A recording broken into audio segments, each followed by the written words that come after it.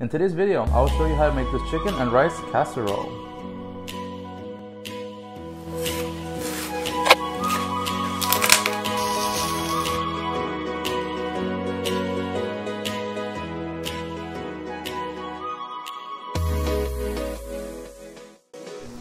Hey, I'm John Diaz, your registered dietitian. Welcome back to my channel, and if you're new, uh, what I do is I actually post recipes for those who are on dialysis. Why? Because the diet is confusing, it is complicated, and honestly, it does suck. So I am your guy to make things a little bit easier and not as confusing. Because a dish uh, to cook something and not know that it's good or bad for you is is just a bit stressful. So uh, check out my channel and you'll see all these recipes that I post every Friday. Uh, so let's get straight to the ingredients then. So what I have right here, I have obviously some a quarter teaspoon of salt. I do have some pepper and a seasoning that I did change up from the recipe. This is a ranch dip. This does have some salt, so I'm gonna use half a teaspoon uh, because the salt does build up pretty fast. So you don't want to have too much sodium in your dish because it does lead to swelling, as you already know, if you know. Uh, also here I have uh, Worcestershire sauce. Try saying that fast. Worcestershire sauce.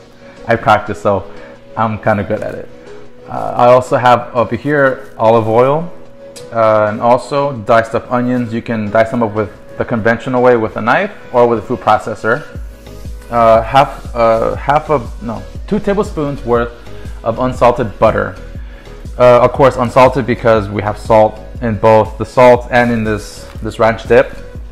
I do have flour right here because it's a casserole. I have a cup's worth of almond milk.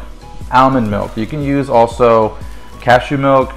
Here I also have mushrooms. Uh, you may see some handouts that does say they may have potassium. It's like high and low. Uh, in this in this dish, it's it's pretty low, so you don't have to worry too much about it. Uh, I also have red bell peppers, diced up. Again, you can chop it up or use the food processor. I have uh, two, three cups worth of rice for the casserole. And I have chicken broth or stock. I can't flip it too much because then I'll spill.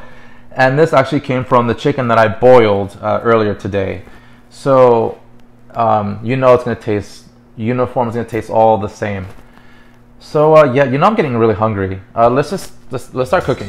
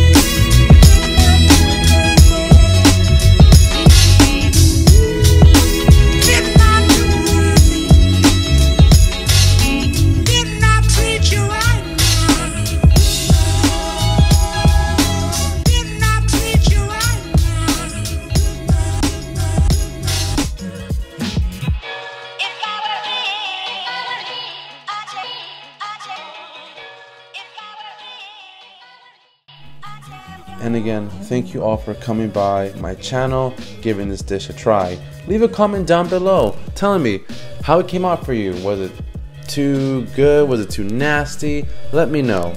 And uh, how long you been on dialysis? And uh, again, please don't forget to hit the like, subscribe, and notification bell to not miss any new content I post every Friday. There's a quick shout out to Robert. Thank you for being my number one YouTube fan and follower and leaving comments down below. You've been really supportive. Thank you again.